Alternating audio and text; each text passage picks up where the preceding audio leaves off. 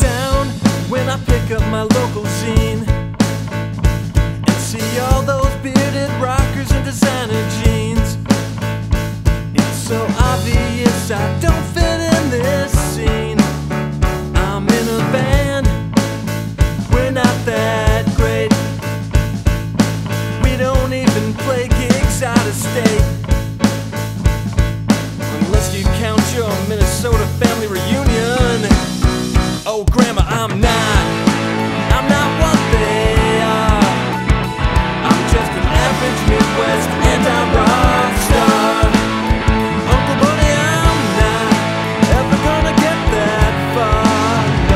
get their money, I won't get their fame, and I won't get their critical acclaim.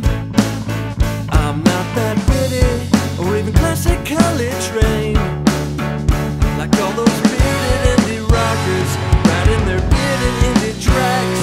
I would grow some stubble like them, but I'm a tree.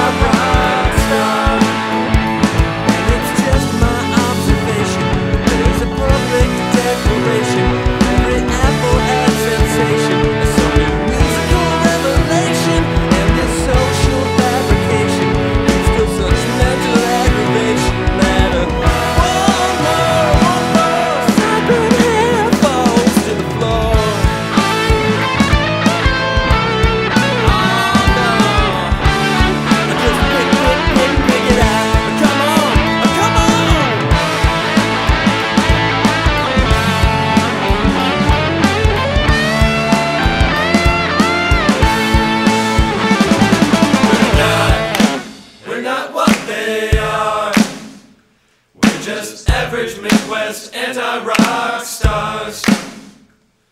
We're not ever gonna get that far. If average Midwest.